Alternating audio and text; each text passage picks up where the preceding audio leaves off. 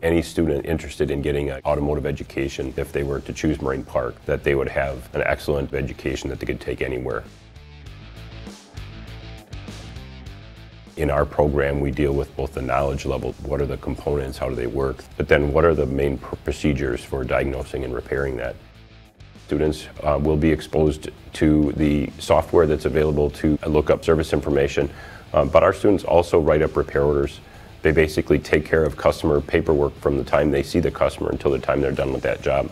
Working in the automotive field can be very challenging, but there's lots of different layers to the industry.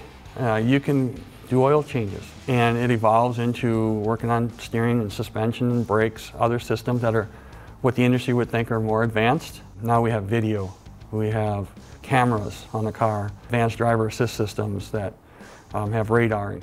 Here at Moraine Park, uh, the instructors and the program, the technology, and the equipment are second to none in the state and anywhere in the nation.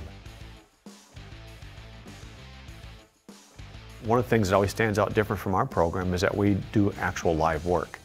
We try to mimic the automotive industry as close as we can with a customer service area, with a repair shop that has cars in it that are from actual customers. And so to have students get that experience of working on vehicles that are from the real world takes just that different level of creative thinking.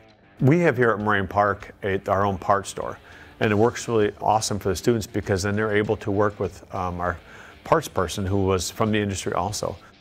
I've been in the automotive parts field for 20 years now. What I like best about working here is being able to help the students, letting them kind of know what it's like to be a parts person. Um, I have a lot of parts store experience and dealership parts room experience. So we've always taken time to talk with our um, industry leaders and see what kind of equipment they have in their shop and then look at the, those pieces of equipment and decide what is the best equipment to have in our shop for students to work on.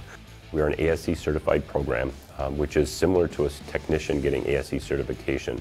It kind of gives uh, anybody in the industry, whether that's here in Wisconsin or anywhere around the country, kind of a baseline of what a, a technician can do. They can say, I went to an ASE accredited program.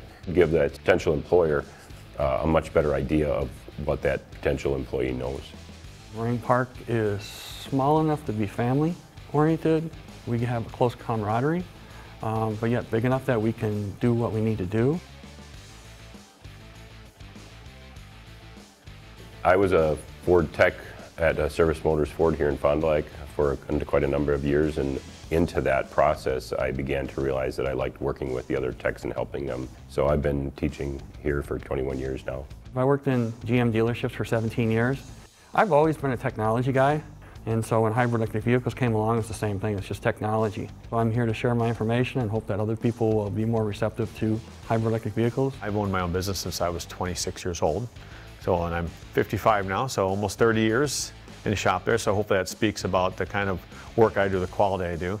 So I came here and I just thought it'd be neat to be able to give back to students all the knowledge I've learned over the years.